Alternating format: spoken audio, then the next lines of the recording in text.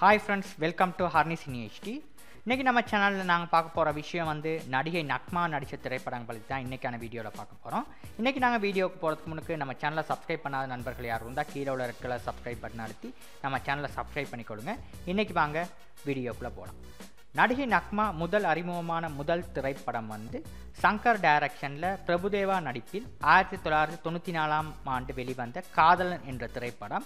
இந்த திரைப்படம் அந்த ஆண்டின் பிளாக்பாஸ்டர் ஹிட் திரைப்படமாக அமைந்தது. அடுத்து நடித்த திரைப்படம் வந்து ஆயிரத்தி தொள்ளாயிரத்தி தொண்ணூற்றி அஞ்சாம் ஆண்டு வெளிவந்த பாஷா.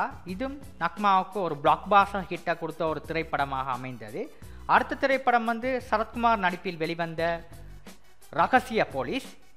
அடுத்த திரைப்படம் வந்து சத்யராஜ் நடிப்பில் ஆயிரத்தி தொள்ளாயிரத்தி தொண்ணூற்றி அஞ்சாம் ஆண்டு வெளிவந்த வில்லாதி வில்லன். அடுத்த திரைப்படம் வந்து ஆயிரத்தி தொள்ளாயிரத்தி தொண்ணூற்றி ஆறாம் ஆண்டு பிரபுதேவா நடிப்பில் வெளிவந்த லவ் பேர்ட்ஸ்.